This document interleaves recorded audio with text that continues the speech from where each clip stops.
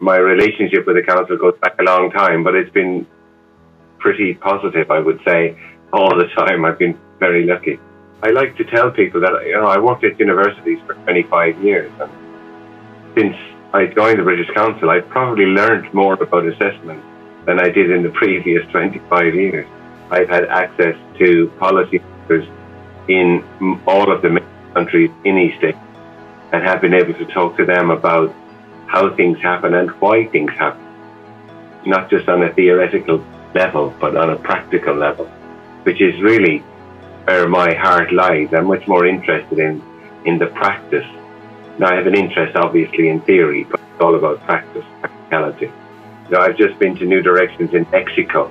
We now have a, a, a Latin American New Directions. And I spent one whole day talking ministry from various countries around Latin America. It's the only conference out there where you get everything from ministers, policymakers, to teachers.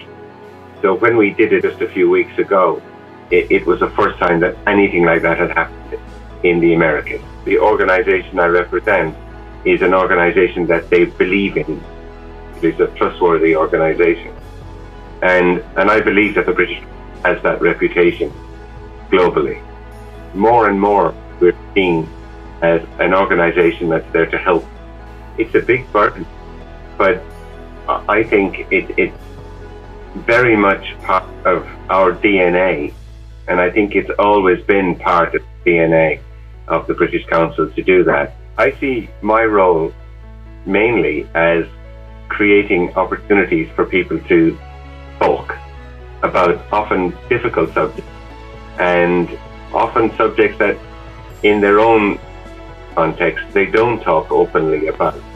So in many ways, I, I, I keep saying I'm kind of lucky because I, I feel that my academic career hasn't suffered at all by joining British Council. You know, I still write. I've still done a number of books, finishing one at the moment, starting another.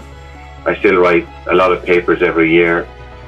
I still get invited to all of the testing conferences, and I'm still seen as part of the academic community.